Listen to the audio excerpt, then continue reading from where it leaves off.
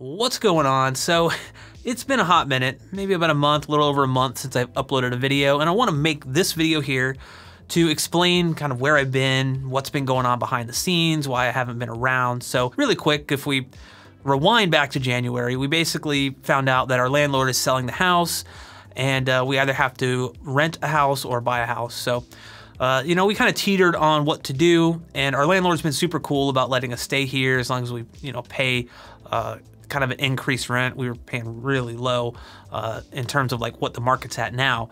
So he's been really cool with that. But we ended up finding a house in kind of the Orlando area that we bought. That's right, we actually bought a house, which is super exciting. I didn't even think that we'd be here where we are now a month and a half ago, you know? And I do want to give a big shout out to Erik and John. Erik, our realtor, and John, our loan officer these guys, uh, they serve Central Florida, so Lakeland, Orlando, Land Lakes, Tampa, kind of those areas. And man, let me tell you, having a good realtor and a good loan officer made the experience so much better. I've never bought a house before, so holy crap, like there's so much stuff that you have to do. You know, you have appraisals and inspections and, you know, cash to close and then clear to close. All of these terms I didn't know.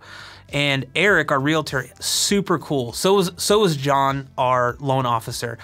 I felt like I could call any of them day or night, whatever time it was, ask a question, if I have anxiety about something. They were just super awesome. They made the whole process a, a little less stressful. I mean, it's still stressful buying a house, right? But if you're in the market for a home in Central Florida, I'm not being paid to say this or anything. I just really like promoting good people and people that I that I really believe in. Uh, check out Erik. I will leave his Zillow profile and his uh, email in the description below. If you need a realtor in Central Florida, definitely check him out. Give him a call. It comes highly recommended from both me and my wife. So what's next? Well. I have some things in the pipeline. Uh, basically, I've talked about having a dedicated home theater space, and this house is no exception. So we are actually, I'm now in the position to have a dedicated theater room. I'm taking a spare bedroom. Now I, I, can't show you the bedroom just yet because we don't have the keys. We get those Thursday actually. So look for a uh, video walkthrough of the house with the main focus being the theater room uh, coming soon, maybe in about a week or so. This project is gonna be pretty massive in scope. It bigger than anything that I've ever done project-wise before. And I'm a pretty DIY hands-on type of person, so I wanna do everything myself as much as possible. Outside of a few weird things that I might come across where I need to hire a professional, I'm gonna be doing everything myself and documenting the whole experience from start to finish, like I said. So that includes painting the walls. I've never painted walls before. I've never painted a popcorn ceiling before. And I know I'm almost 40, but I've never owned a home. I've never been in a position where I could paint walls. And so that's gonna be an experience that I wanna document. You know, what colors do I wanna go with? How am I gonna do this? How am I gonna do that? I'll be running in-wall speaker wire. I might even be doing in-wall speakers. I'm not 100% sure on that yet. Uh, I'm working with some, a couple brands to maybe try to make that happen. But uh, it's gonna be super cool. Now, on top of that, I'm also going to be routing ethernet cable throughout the entire house. Now this house was built in 1994, so it has no pre-wired or wired ethernet in, in the house at all. So we're basically gonna be adding, I think I wanna do about two ports per room.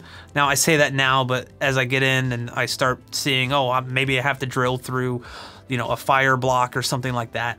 It might change to one, I don't know. Now I know networking is kind of not really home theater related, but I kind of do feel that it's all tied together. I mean, most, if not all devices we have now connect to the internet in some way. And if you could go hardwired, it's always the best option. So I feel like this does apply to home theater and it might be just kind of cool to make a video and make all these mistakes so you guys don't have to.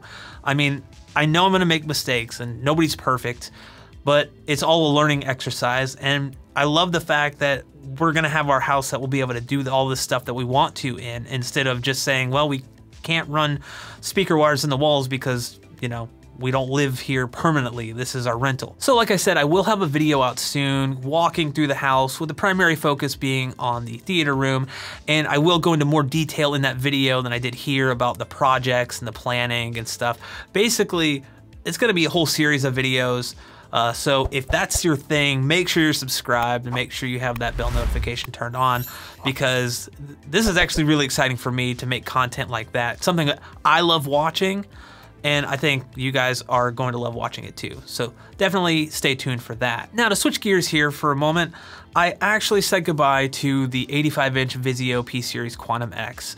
Uh, I've been kind of vocal about my issues with their firmware and their updates and how they broke HDR10 five or six months ago and still no fix, still nothing. So I sold it to a friend of a friend who didn't really care about the issues and I did make sure that he knew about the issues. I wasn't gonna sell him something that I would not have bought myself without him knowing about the issues that I have with it, and he didn't really care. So after I sold the Vizio, we kind of had to put buying a new TV on the back burner for a bit until we bought the house, but after we bought the house, I went ahead and purchased a 77-inch LG C1 OLED. That's right, finally in the OLED camp. And man, is it awesome. It is just, it feels like such a premium product. I'm gonna have a bunch more videos about the C1. I'm probably gonna batch shoot those. That way I have some content coming out while we're doing the moving and stuff and I don't have like a big lull like I did before. Uh, but the reason I went with the C1 is it just kind of ticked all the boxes. I know the C2 came out and is technically better in some aspects, but I really didn't feel like the price difference was worth it. I picked up the C1 for $25.99 from Best Buy. So heck of a deal. Really enjoy it. Again, I'll be making more videos on that. I'll actually be doing a TV buying guide, kind of going through my process, not necessarily a universal process, but my process of selecting a TV and why I ended up with the C1 instead of something else like the Sony A80J or the new, you know, X95K or whatever. So yeah, look for LG C1 content coming up as well as some other content here. Um, I'm actually working on a review of the Aperion Allaires. Uh, these are Bluetooth speakers. Uh, kind of similar to the SVS Prime wireless speakers. Also have the Bravus subwoofer down here. You can't really see it. But uh, look for an overview and unboxing video of those pretty soon. I'm actually pretty excited to use these speakers as we move because they're kind of portable, they're kind of small. There's a car, wow.